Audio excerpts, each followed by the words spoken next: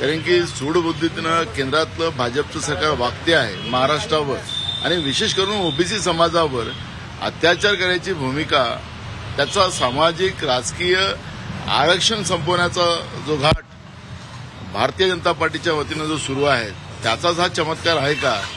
हा सगळा माननीय सुप्रीम कोर्टाच्या आदेशाला संपूर्ण वाचल्यानंतरच याच्यावरची आपल्याला प्रतिक्रिया देता येईल. ट्रिपल टेस्ट पूर्ण करायचे होत्या मध्य प्रदेश सरकारने ते करून दाखवलं मात्र महाराष्ट्र सरकारला ते करता आलं. असं आठवड्याभरात तसा चमत्कार काय होऊ शकतं? कारण की आता चार दिवसाच्या पहिले माननीय सुप्रीम कोर्टाने मध्य प्रदेशच्या आदेशा मध्य प्रदेशलाही सुद्धा ओबीसीच्या आरक्षणाबद्दलच्या त्याला थांबवलं होतं. त्याच्यामुळे एवढ्या चार पाच दिवसातच असा काय चमत्कार झाला हे कळायचं कारण आता नाही. जिथपर्यंत माननीय सुप्रीम कोर्टाचा आदेश हा खाली येत नाही आणि आता उद्या मान्य हायकोर्टातही त्या पद्धतीचं प्रकरण आहे. तेही उद्या दुपारी त्या पद्धतीचं एक निर्णय पुढे येण्याची शक्यता आहे. त्यामुळे आजचा सुप्रीम कोर्टाचे आदेश पूर्ण बघून आणि उद्या सु- हायकोर्टामध्ये जे काही प्रकरण आहे या सगळ्या प्रकरणावर आपल्याला उद्या याच्यावर दुपारी सविस्तर बोलता येईल. हो की सरकारला आरक्षणच द्यायचं नाही. तर त्यांची असं म्हणणं आहे की मध्य प्रदेश सरकारची इच्छा होती म्हणून त्यांनी हे सगळं केलं पण महाराष्ट्र सरकारची इच्छाच नाही आहे ओबीसीनं राजकीय तेच आणि जर मला मध्य प्रदेश चार महिन्यात करू शकते ही परीक्षा डाटा तर अ, महाराष्ट्र सरकार दोन वर्षात का करू शकते? म्हणून आम्ही भारतीय जनता पार्टीचं महाराष्ट्रातल्या अ, या अ, अ, भाजपचं जे मत आहे त्या मताशी आज सहमत होण्याचं कुठलं कारण नाही. आणि या पद्धतीनं हळवळून जाण्याचं कारण भारतीय जनता पार्टीला महाराष्ट्रात गरज नाही. कारण की माननीय सुप्रीम कोर्टाचा चार दिवसाचा पहिलेचा मध्य प्रदेशचा निकाल आणि त्याच्या दोन दिवसाच्या पहिले महाराष्ट्राच्या बद्दलचा निकाल दिला होता त्या निकालामध्ये काही तफावत नव्हती. आणि जे आदेश जे एम्प्रिकल डाट्याचं जे मत मांडलं जात आहे टिपटेजचं मत मांडलं जाते आहे त्या मताचं चार दिवसात हा चमत्कार कसा घडू शकतो हा थोडासा एक परीक्षणाचा भाग आहे.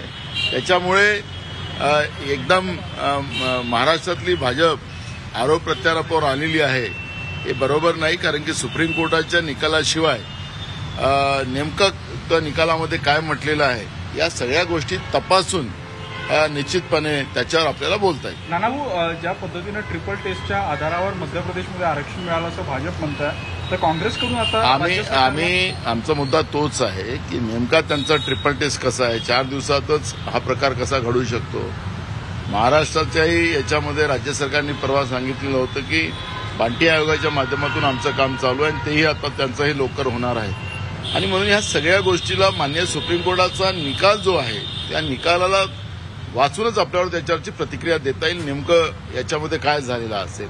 आणि जसं महाराष्ट्रामध्ये आणि मध्य प्रदेशमध्ये त्यांनी ट्रिपल टेस्ट पूर्ण करून समजा हे केलेलं असेल आणि राज्य सरकार कुठल्या कारणाने करत नसेल तर याचाही जॉब काँग्रेस विचारेल. कारण की आखरी संविधानिक व्यवस्थेप्रमाणे मागासवर्गीयांच्या आरक्षणाबद्दलचं कमिटमेंट हे काँग्रेसचं आहे. आणि या कमिटमेंटमध्ये सत्तेपेक्षा आरक्षण मागासवर्गीयांच्या आरक्षणाचं महत्त्व आम्हाला जास्त आहे. त्यामुळे या सगळ्या गोष्टी तपासूनच याच्यावरची प्रतिक्रिया आम्ही तुम्हाला असं वाटत नाही की म्हणजे इम्पेरिकल डेटा आणि ट्रिपल टेस्ट पूर्ण करायला दोन वर्षाचा कालावधी राज्य सरकार हे बघा या सगळ्या प्रक्रियेला कोरोनाचा काळ एक मोठा काळ गेलेला आहे. त्या गोष्टीला नाकारता येत नाही. आणि म्हणून आता बांटी आयोग आल्यानंतर या बांटी आयोगाचा अहवाल आणि त्या पद्धतीचं राज्य सरकारची भूमिका आणि मान्य सुप्रीम कोर्टाने दिलेल्या निर्णयाला या सगळ्या गोष्टी एकत्रित न करता आम्हाला सुप्रीम कोर्टाच्या निकालाच्या नंतरच मी तुम्हाला बघापासून सांगतो की योग्य प्रतिक्रिया आपल्याला देता येईल भाऊ शेवटचा प्रश्न. भाजपने नैतिकतेच्या आधारावर तुमच्या राजीनाम्याची मागणी केलेली आहे.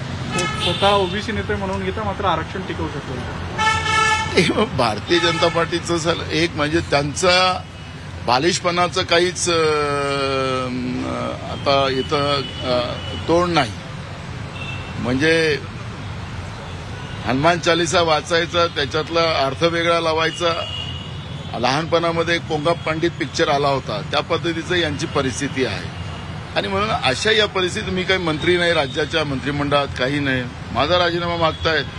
म्हणजे एवढा पालिशपणा भारतीय जनता पार्टीचा हा सत्तेसाठी हपापलेपणा भारतीय जनता पार्टीचा पाहायला मिळत आहे आणि म्हणून मी आता त्याच्यावरची कुठलीही प्रतिक्रिया नाही जिथपर्यंत माननीय सुप्रीम कोर्टाच्या आदेशाचं नेमकं निष्कर्ष काय निघतं हे सगळं तपासूनच त्याच्यावरची प्रतिक्रिया दिली जाणार हे मगापासून मी तुम्हाला सांगतो तेच आहे. किशोरी पेडणेकर यांनी शिवसेनेच्या शिवसेनेच्या किशोरी पेडणेकर यांनी असं म्हटलं आहे की आपण जे प्रभाग रचनाबद्दल आरोप केला आहे किंवा नाराजी व्यक्त केली आहे त्यामध्ये हा सगळा अभ्यास करून केला जातो मात्र भाजपमधून आला- आलेले नाना पटोले यांना बोलायचं आहे ते बोलू द्या असं त्यांनी म्हटलं हे बघा हे प्रकरण कोर्टात आहे. त्याच्यामुळे झालेली प्रभाग रचना त्याच्यावर आमचे स्थानिक नेते त्याच्यामध्ये मग पुण्यात असतील अनेक शहरामध्ये असतील आमचे काही स्थानिक लोक गेलेली आहेत.